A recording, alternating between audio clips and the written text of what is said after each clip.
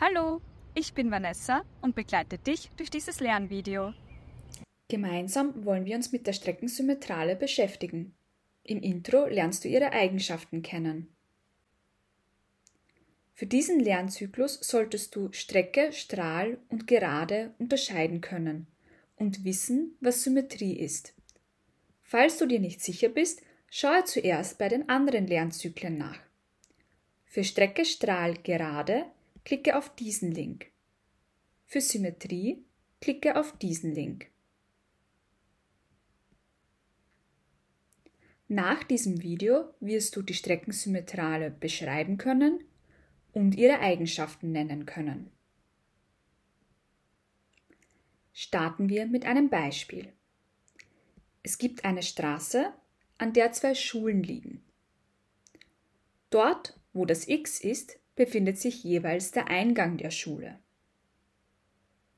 Es wird eine Bushaltestelle errichtet, die von beiden Schulen gleich weit entfernt sein soll. Sie würde sicher in dem roten Kreis liegen. Aber wie kann man den genauen Ort der Haltestelle bestimmen?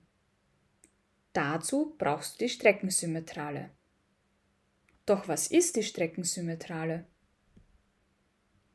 Die Streckensymmetrale teilt eine Strecke in der Mitte. Du kannst auch sagen, die Streckensymmetrale halbiert die Strecke. Die Streckensymmetrale und die Strecke stehen immer in einem rechten Winkel zueinander. Zusammenfassend kann man die Streckensymmetrale so beschreiben.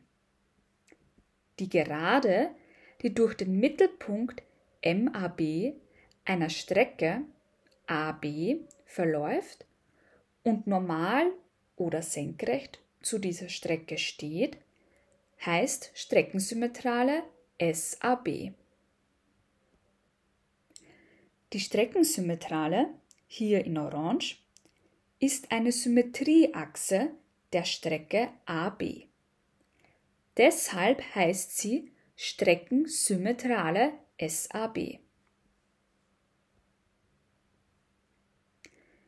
Jeder Punkt der Streckensymmetrale ist gleich weit vom Punkt A und vom Punkt B entfernt.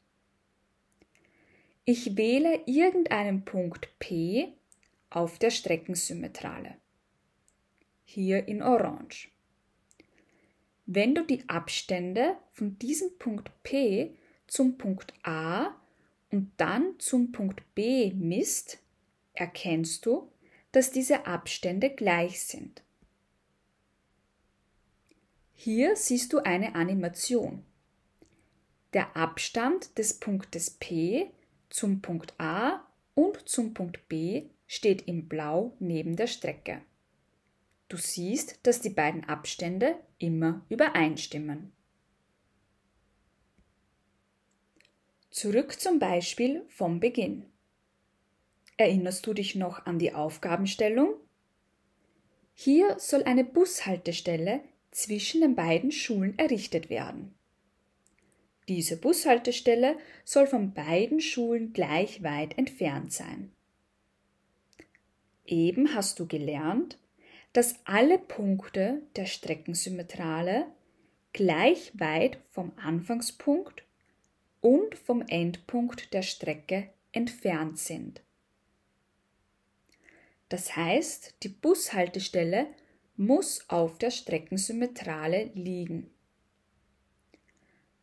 Wir zeichnen die Strecke zwischen den Eingängen der Schule ein.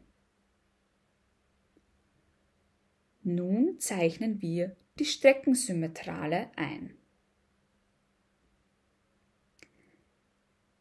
Die Streckensymmetrale trifft auf die Straße. Genau dort beim roten X soll die Bushaltestelle liegen. Sie ist dann von beiden Schulen gleich weit entfernt. Teste dich nun selbst. Ich habe hier einen Lückentext. Stoppe das Video und schreibe die Wörter auf, die in die Lücken passen. Wenn du Hilfe brauchst, lasse das Video kurz weiterlaufen. Gleich wird ein Wortgeländer eingeblendet, sodass du die richtigen Wörter zuordnen kannst. Wenn du fertig bist, klicke auf Play und vergleiche mit der Lösung.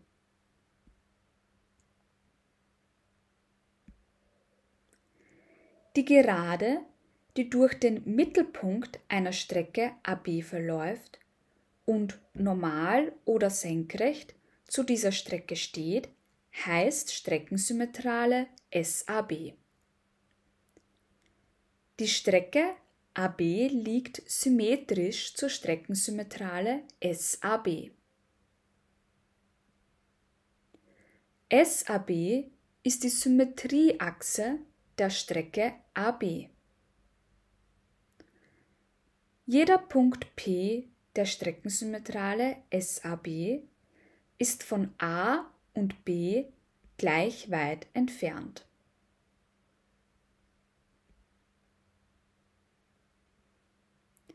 Als nächstes betrachten wir Beispiele und überlegen, ob es sich um eine Streckensymmetrale handelt oder nicht.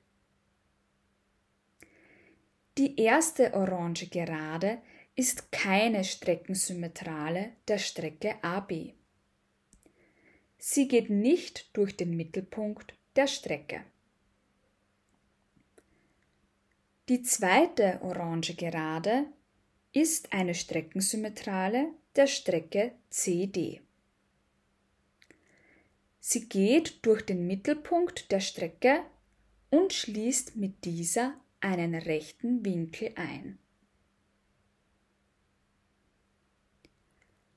Die dritte orange Gerade ist keine Streckensymmetrale der Strecke EF. Sie steht nicht im rechten Winkel auf die Strecke.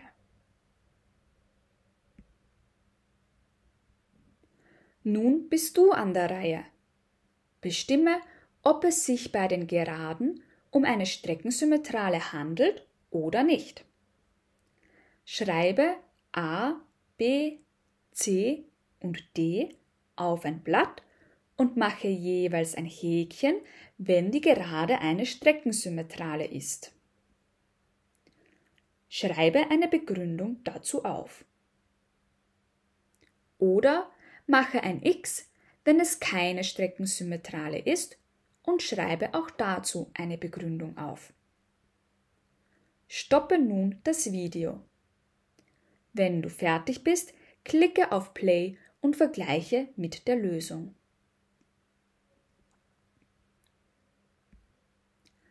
Bei Aufgabe A handelt es sich nicht um eine Streckensymmetrale. Die orange Gerade geht nicht durch den Mittelpunkt der Strecke. In Aufgabe B ist die Streckensymmetrale korrekt eingezeichnet. Die orange Gerade halbiert die Strecke und steht senkrecht auf sie. In C ist ebenfalls eine Streckensymmetrale eingezeichnet. Die orange Gerade geht durch den Mittelpunkt der Strecke und steht im rechten Winkel auf sie. Bei D ist die orange Gerade keine Streckensymmetrale. Sie steht nicht normal auf die Strecke.